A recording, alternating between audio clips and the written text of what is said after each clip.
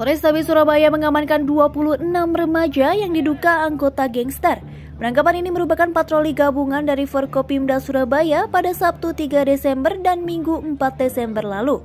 Kasat Reskrim Polrestabes Surabaya AKBP Mirzal Maulana mengatakan, dari 26 remaja tersebut, tiga di antaranya terindikasi melanggar Undang-Undang Darurat Nomor 12 Tahun 1951 terkait kepemilikan senjata tajam.